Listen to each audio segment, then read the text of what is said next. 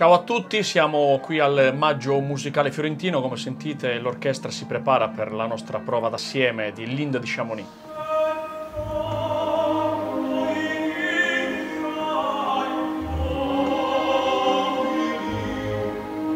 Opera stupenda che presto potrete vedere in streaming, non vi possiamo svelare nulla al momento, è un segreto.